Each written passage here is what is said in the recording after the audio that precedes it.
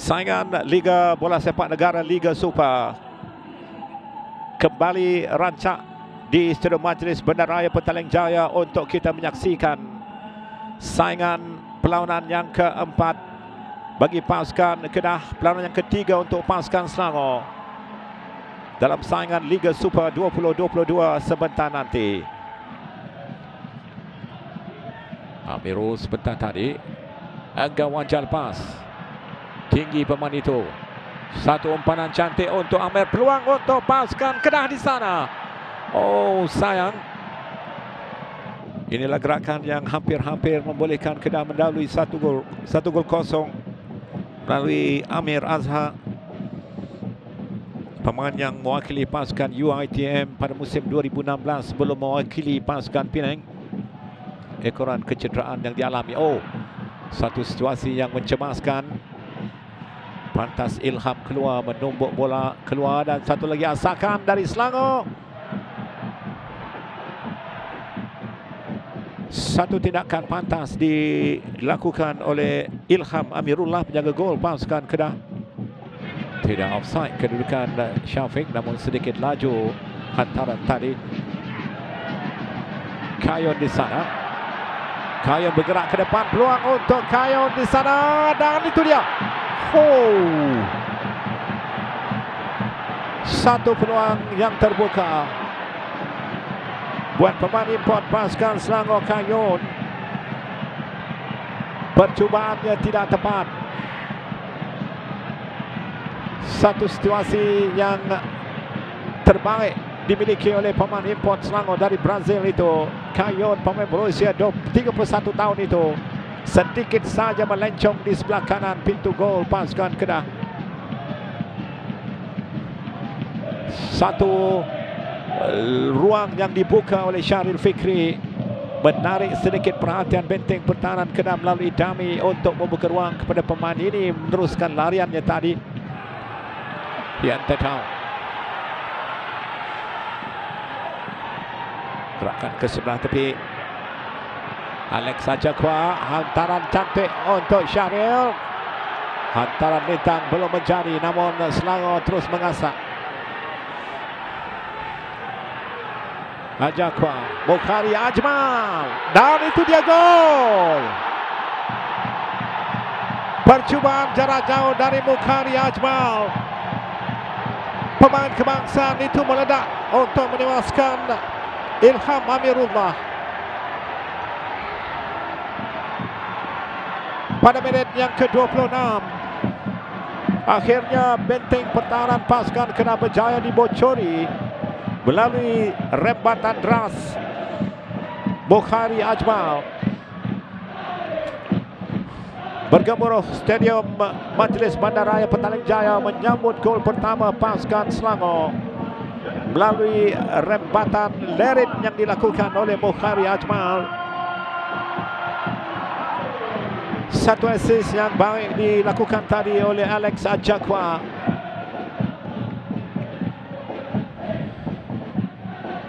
Ini merupakan kali pertama Ilham Amirullah penjaga gol pasukan kena itu ditewaskan di gawang gol.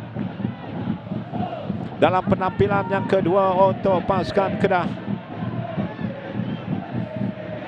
pada minit ke-26 yang tertaung di sana Fazli pantas hantaran cantik dadaan menjadi peluang untuk pasukan Selangor dan itu dia gol. Kayon menjaringkan gol pribadi yang keempat untuk dirinya. Gol kedua Selangor pada minit yang ke-34. Satu kelegaan dan kegembiraan disambut oleh penyokong-penyokong gergasi merah di Stadium Majlis Bandaraya Petaling Jaya. Setakat ini Kayon. Kehadirannya diharap mampu mengisi kekosongan yang ditinggalkan oleh Ifedayo cantik kawalannya. Tamparannya mengelirukan Rodney Calvin untuk dia menewaskan Amirullah Ilham Amirullah sekali lagi.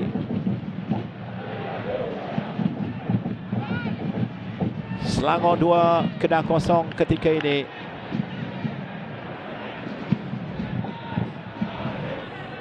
Keadaan nampak seperti 50-50 tadi. Quentin Cheng. Satu hantaran lintang baik di sana. Peluang. Ted Tong bagaimana Syarif Fikri menanti di bahagian tengah. Dan ada percubaan yang tidak begitu tajam dilakukan tadi oleh Fazli Mazlan.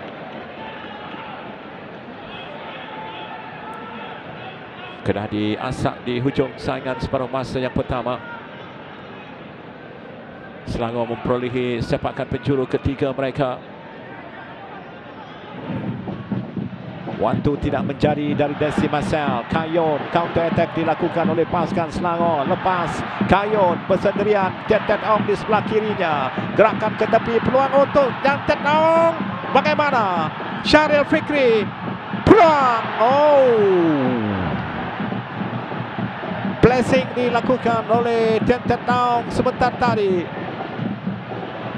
Mungkin ada ruang yang lebih selesa untuk Kayon jika umpanan itu dapat dilakukan oleh pemain kebangsaan Myanmar itu. Kayon berjaya melepasi dua pemain pertahanan pasukan tuan pasukan Kedah tadi. Satu gerakan menarik. Jang Suk Won berjaya ditewaskan.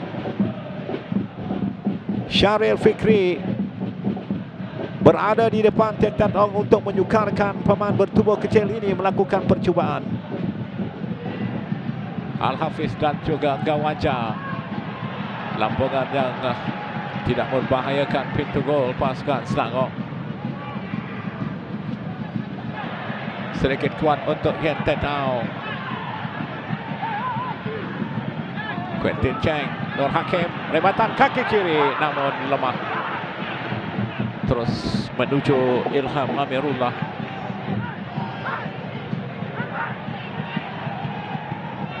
Satu antara bintang yang baik dilakukan oleh Muhammad Nur Hakim Hassan.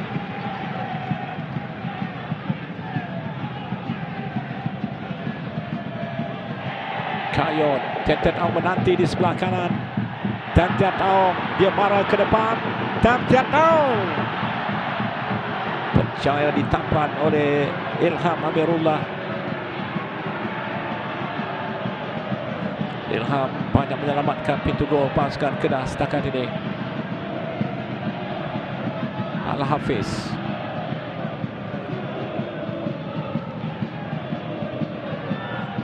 Amirul ke tepi Satu trupas cuba dilakukan oleh Al-Hafiz mencari engkau wajah juga tidak menjadi. Al-Hafiz di sana peluang untuk kena melalui gerakan ini. Al-Hafiz Placing yang cuba dilakukan oleh Al-Hafiz dapat dibaca dengan tepat oleh Karul Azhan.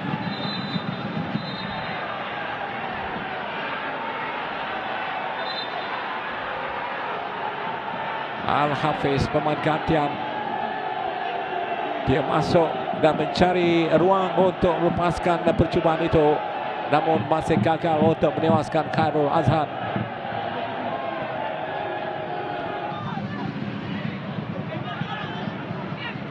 Nur Hakim. Kayon mencari Nur Hakim. Peluang untuk Nur Hakim dan itu dia gol. Gandengan dua pemain penyerang. Nur Hakim Hassan dan juga Kayon membawa kegembiraan untuk pasukan gergasi merah di Kelana Jaya. Gol ketiga melalui pemain gantian Nur Hakim Hassan. Jang Sokwon tertewas melalui gerakan yang begitu licin diatur oleh pasukan Selangor melalui Nur Hakim Hassan.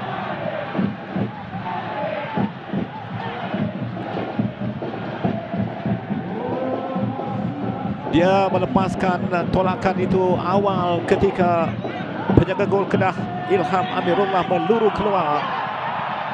Dan pada saat itu Chang Sok Won sudah pun tertewas jauh untuk melakukan sebarang tindakan penyelamat. Cantik umpanan yang dilakukan oleh Kayon Tampanan tidak tepat dari Jan Sokon.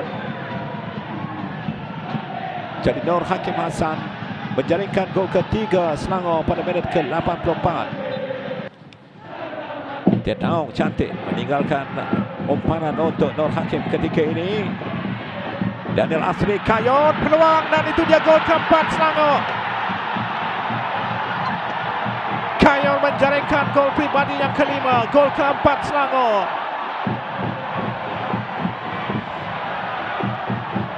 Satu lagi ledakan jaringan yang mantap dilakukan oleh Kayon. Penyokong-penyokong pasukan Selangor menyambut gol keempat mereka dalam situasi yang penuh meriah.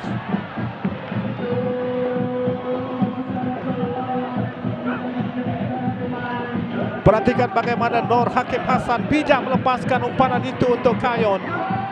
Dia melepasi dua pemain pertahanan pasukan Kedah. Mark Beles dan juga Kapten pasukan Kedah Rodney Calvin. Satu tolakan yang baik. Ilham Amirullah meluru keluar namun agakkannya kali ini tidak tepat. Untuk Kayon muda menolak ke penjuru kiri. Namun pergerakan mereka masih lagi sedikit ke bawah. Bagaimana dengan gerakan ini? Azamuddin. Oh cantik. Umpuan Azamuddin. Dan itu dia gol Fayad berjaya mendapatkan gol pertama pasukan Kedah di hujung saingan Muhammad Fayad Muhammad Zulkifli Amin. Akhirnya berjaya menewaskan Muhammad Khairul Azhan. Lalu semangat yang tidak mudah menyerah kalah. Kedah bangkit untuk mendapatkan gol pertama mereka di hujung saingan permainan separuh masa yang kedua Satu gerakan menarik lambungan baik dilakukan oleh Azamuddin Akil Untuk disudahkan oleh Fayad Jadi kedudukan di separuh masa yang pertama kini berubah. Selangor 4 Kedah 1. Fayad menjaringkan gol.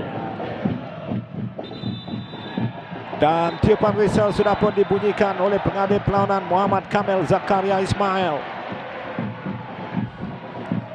Kedah gagal mengambil tiga mata di Kelana Jaya malam ini tiga mata yang berharga untuk Selangor mengatasi pasukan Kedah.